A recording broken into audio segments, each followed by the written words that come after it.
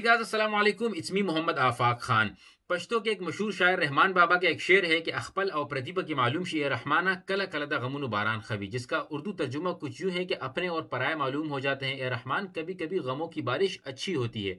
मेरे दोस्तों, मैं आपको इस वीडियो में बताऊँगा किसके ऊपर गमों की बारिश हो रही है और किसका इसमें फ़ायदा है। क्योंकि इस वीडियो में हम न्यूट्रल होकर आखिर तक आप ये ये वीडियो सुनिएगा, हम इसमें बात करेंगे मौलाना शिरानी साहब के प्रेस कॉन्फ्रेंस के बारे में। नाइनटीन में जब मौलाना फजल रहमान साहब इलेक्शन हारे, क्या उसमें शिरानी साहब का कोई किरदार था? इस वीडियो में हम बात करेंगे कि जब मुशर्रफ के दौर में शिरानी साहब का कोई किरदार था, इस वीडियो में हम ये भी बात करेंगे कि शिरानी साहब पर ये क्यों इल्ज़ाम हैं कि उनको पजीरो गाड़ी अलॉट की गई थी। इस वीडियो में हम बात करेंगे कि शिरानी साहब की कौन सी बातों को दबाकर, कौन सी बातें सामने लाकर हीरो बनाने की कोशिश हो रही है। इस वीडियो में हम ये भी बात करेंगे कि मीडिया ट्रायल मौलाना साहब और जे के खिलाफ क्यों हो रहा है। सहाफ़ी होने के नाते मेरा ये दावा है, वादा है कि मैं न्यूट्रल होकर वीडियो बनाऊँगा, आप भी न्यूट्रल होकर देखिएगा। सबसे पहले मीडिया ट्रायल की बात कर लेते हैं। मीडिया ट्रायल आज से तकरीबन सात आठ महीने पहले शुरू होता है मौलाना फजलरमान साहब पर इल्ज़ाम लगाने से कि उनके ऊपर बहुत बड़े बड़े करप्शन के इल्ज़ाम हैं। बाकायदा सहाफ़ी आते हैं, प्राइम टाइम पर शो करते हैं, यूट्यूब पर वीडियोज़ बनाते हैं, वादे करते हैं, दावे करते हैं कि ऐसे ऐसे राज मौजूद हैं कि अगर हमने बता दिए तो पाँच पाँच घंटे गुजर जाएँगे, इतने असासे मौजूद हैं। आवाम सीरियस नहीं लेती क्योंकि ये कोई इधर उधर की बात करते हैं। उसके बाद बाकायदा मिनिस्टर्स मुराद सईद साहब आते हैं जिन्होंने हालफ उठाया होता है, सादिक और अमीन होने का, झूठ न बोलने का।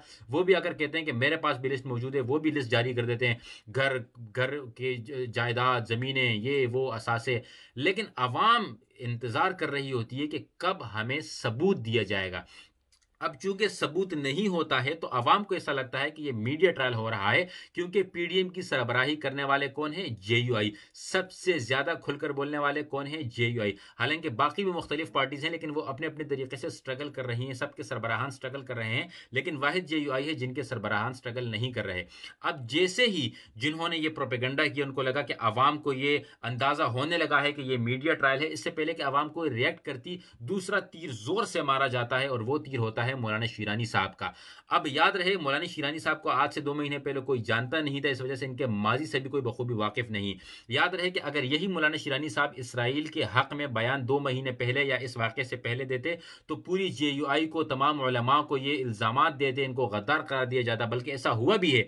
लेकिन शिरानी साहब ने बयान दिए लेकिन साथ में इन्होंने ये भी बयान दिया कि वो पी डी एम के खिलाफ हैं जे यू आई के खिलाफ है, मौलाना फजलरहमान साहब के खिलाफ हैं, और हुकूमत को यही सुनना था। इस वजह से इनकी वो बातों को छुपाकर, इनको हीरो बनाकर बाकायदा प्रेस कॉन्फ्रेंसिस, सुर्खियाँ बनाई जा रही हैं। अवाम को यह नहीं बताया जा रहा है कि जब 1997 में मौलाना फजलरहमान साहब को फ़ोन किया गया और कहा गया, ये इनातुल्ला फारूकी साहब है रायतुल्ला फारूकी साहब ने कॉलम लिखा है कि जब उनको फ़ोन किया गया और कहा गया कि मौलाना साहब, आप इलेक्शन हार जाएँगे तो मौलाना साहब ने आगे से जवाब दिया कि मेरी मकबूलियत गैर मामूली है, मुझे दांदी के, दांदी होते हुए भी नहीं हरवाया जा सकता। तो आगे से कहा गया कि बिल्कुल यही हरबा इस्तेमाल किया जाएगा कि आपके वोट ज़्यादा होंगे पिछले इलेक्शन से, लेकिन आप हार जाएँगे। मौलाना साहब बड़ी कोशिशें करते हैं, लेकिन उनको कोई हर जगह से इतमान दिया जाता है कि नहीं, ऐसा कुछ भी नहीं है। दो दिन पहले इलेक्शन से डीआई खान डीआई खान के कमिश्नर जो है वो जाते हैं और वो बताते हैं मौलाना साहब को कि आपके इलेक्शन हरवाने का टास्क दिया गया है, कुछ करें अगर आप चाहते हैं, लेकिन वो कुछ नहीं कर पाते। सवाल और बातें उठती हैं कि इसमें शिरानी साहब और हाफिज हुसैन अहमद का हाथ है और वो इसमें इन्वॉल्व थे, उनको पहले से पता था लेकिन इसको इतना सीरियस नहीं लिया जाता। फिर मुशर्रफ के दौर आता है तो वहाँ पर बाकायदा जीमतलमा इस्लाम में मौलाफरमान समेत मुख्तलिफ़ सरबराहान को सबसे ज़्यादा पेशराइज किया जाता है कि आप मुशर्रफ की हाँ में हाँ मिलाएँ। लेकिन मौलाना साहब अपनी जो बात पर वो कायम रहे होते हैं, इस वजह से यहाँ से मुखालफत जो है वो शुरू होती है। लेकिन सबसे बड़ा सवाल तब उठता है जब मौलाना शिरानी साहब ना ही असम्बली के मेंबर होते हैं, ना ही उन्होंने कोई हलफ उठाया होता है और उनको पजीरो गाड़ी अलॉट कर दी जाती है, जिसके बाद वो नज़रों में आ जाते हैं और उनकी मुखालफत वहीं से शुरू हो जाती है और बीस पच्चीस साल से मुखालफत चलती आ रही है। अब याद रहे, चूँकि जमीत इस्लाम एक ऐसी पार्टी जहाँ पर मौजूद हैं तो ये बहुत कम ऐसी कोशिशें की ऐसी बातें होती हैं कि जो आवाम के सामने लाई जाएँ, क्योंकि किसी भी पोलिटिकल पार्टी में जब भी कोई चीज़ें होती हैं तो इसको एक घर का मामला कहा जाता है और पार्टी का मामला कहा जाता है और ये कोशिश होती है कि इस बात को सामने न लेकर आए। तो ये कोई पहली दफ़ा नहीं कि मौलाना शीरानी साहब, मौलाना फजल साहब के खिलाफ महाज देकर निकले हैं। यहाँ पर एक और बात भी क्लियर कर देता चलूँ कि चूँकि मौलाना शिरानी साहब भी आलिम दीन है, मौलाना फजलरहमान साहब भी आलिम दीन है तो मैं किसी के खिलाफ कोई बात नहीं करना चाह रहा, लेकिन आलिम दीन फरिश्ता नहीं होता है। आलिम दीन भी हसद कर सकते हैं, आलिम दीन के जहन में भी, दिलो दिमाग में भी कोई लालच आ सकती है। वो भी किसी बात से मजबूर हो सकते हैं लेट्स टेक इट पॉजिटिव वो भी किसी बात से मजबूर हो सकते हैं। तो अगर आप शिरानी साहब की पार्टी के हैं, अगर कुछ लोग मौजूद हैं, या मौलाना फजलरहमान साहब की पार्टी के हैं, आपसे गुजारिश है कि आप सिर्फ़ फैक्ट्स पर हिस्ट्री पर, माजी पर देखकर बात कीजिएगा। ज़रूरी नहीं कि अगर आप अपने लीडर से मोहब्बत करते हो तो उसकी बेंस के गोबर को गाजर का हलवा साबित करेंगे। ऐसा नहीं होना चाहिए। ये मैं तमाम पॉलिटिकल पार्टीज़ के लिए कह रहा हूँ। दूसरी बात, एक तरफ़ आपने देखा कि हाफिज मौलाना शिरानी साहब को कैसी प्रेस कॉन्फ्रेंसिस करवाई जा रही है, कैसी एक एक बात की सुर्खी बनाई जा रही है। दूसरी तरफ़, मुफ्ती किफ़ायतुल्लाह साहब, जिनसे मैं खुद भी ज़ाती तौर पर थोड़ी सी मुखालफत रखता हूँ, उनके अंदाज बयान की वजह से या उनकी बातों की वजह से जो वो बात कहते हैं। लेकिन उनका रिसेंटली एक इंटरव्यू था जिसमें उन्होंने कहा था कि मैं मरते दम तक मौलाना फजल रहमान साहब के साथ होऊँगा, चाहे जो भी हो जाए। उन्होंने भी कहा कि हमें, मुझे भी कुछ जो है वो ऑफर्स आई हैं जे को तोड़ने की। हुआ क्या कि अगले ही दिन उनके ऊपर मुकदमा दर्ज कर दिया गया कि भाई ये तो गद्दार हैं। याद रहे, सबसे पहले जब भी हरबा इस्तेमाल किया जाता है तो वो करप्शन का होता है। करप्शन का हरबा नाकाम तब हो जाता है, जब या तो आवाम की बहुत ज़्यादा तादाद में पावर हो, आवाम भरपूर तरीके से अपने लीडर पर वो भरोसा रखती हो, और लीडर के खिलाफ कोई सब, सबूत ना हो तो फिर गद्दारी का मुकदमा दर्ज किया जाता है। ये एक ऐसा संगीन इल्ज़ाम है, जो किसी के भी करियर को तबाह कर देता है। ये एक ऐसा संगीन इल्ज़ाम है, जो किसी को भी सड़क पर निकलने से रोक सकता है। ये एक ऐसा संगीन इल्ज़ाम है, जिसके ऊपर इंसान ये इल्ज़ाम लगने के बाद मेंटली टॉर्चर का शिकार हो जाता है कि मैं पाकिस्तान में रहने वाला, पैदा होने वाला, मुझे ही गद्दार करा दिया जा रहा है। उनके बच्चों को, उनके ख़ानदान को इसका असर होता है। लेकिन यहाँ पर चंद लालच की खातिर, कुर्सी की खातिर किसी को भी गद्दार किसी भी वजह से करार दे दिया जाता है।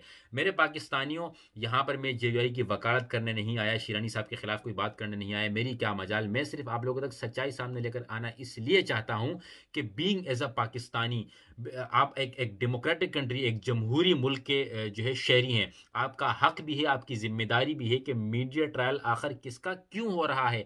अगर आपको सात आठ महीने से बताया जा रहा है कि मौलाना साहब करप्ट है तो अब तक शवाहद सामने क्यों नहीं लेकर आए? मुराद सईद साहब ने बाकायदा टीवी पर आकर ये बातें कही थी तो उनसे पूछा जाए कि आपने अपने हल्फ का रा आप, आपने अपने जो है वो हल्फ की लाज क्यों नहीं रखी?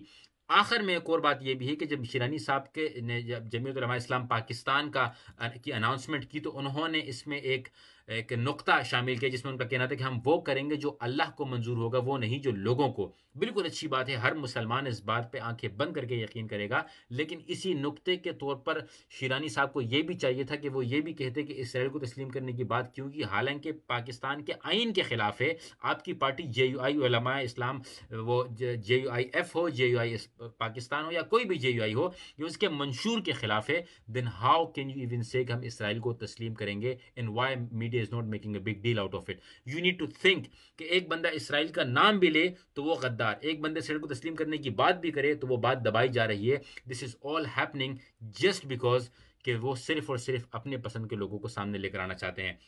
वीडियो ज़रा लंबी हो गई है, लेकिन मैं उम्मीद करता हूँ कि बहुत सारी चीज़ें आप लोगों के जहन में क्लियर हो चुकी होंगी। आप पीटीआई के हों पीएमएलएन के हों एमकेएम के हों पीपी के हों, या जेयूआई के हों जेयूआईएफ के हों, या फिर जेयूआई पाकिस्तान के हों, जिस किसी को भी हों।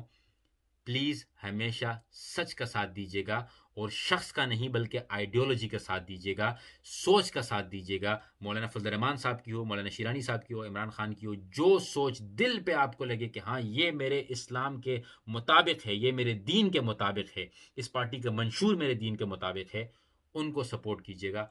आपको कभी भी शर्म का सामना नहीं करना पड़ेगा। वो लोग जो अंधे होकर सिर्फ़ एक शख्स को सपोर्ट करते हैं, वो हमेशा मार खाते हैं। लेकिन वो लोग जो किसी शख्स को इसलिए सपोर्ट करते हैं कि उसकी सोच अच्छी है, उसकी सोच को अडॉप्ट करना चाहते हैं they are always the successful ones I hope you will like this video and share thank you very much take care Allah